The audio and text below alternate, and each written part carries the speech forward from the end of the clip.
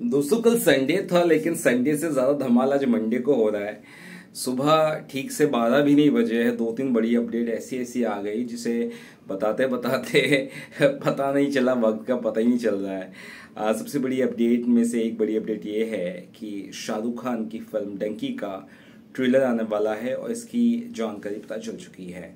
और आ, कल पाँच तारीख को आने वाला है डंकी का ट्रेलर ये बात पता चली है। यानी कि आने वाले 24 घंटे में हमें मिल जाएगा डंकी का ट्रेलर देखने को और ट्रेलर कितना कमाल का होगा, ये बहुत मैटर करता है।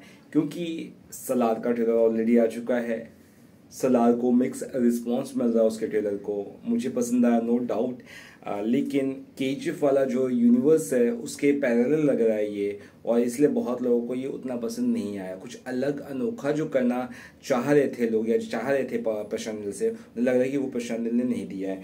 लेकिन मैं वापस से बार बार कहता हूँ, प्रशांत नील सब छुपा कर रखते हैं। तो यहाँ पर बात करते हैं कि जब सेकंड ट्रेलर आएगा तब काफ़ी कुछ रिवील होगा प्रशांत नील की तरफ़ से। लेकिन बात करते हैं अगर डंकी की तो डंकी का ट्रेलर कल धमाल मचाने वाला है। उससे ये तय हो जाएगा कि 21 तारीख को जब सलार आएगी और बाईस सॉरी 21 तारीख को जब डंकी आएगी और 22 तारीख को जब सलार आएगी तभी क्लैश कितना जानदार अनोखा और शानदार होने वाला है।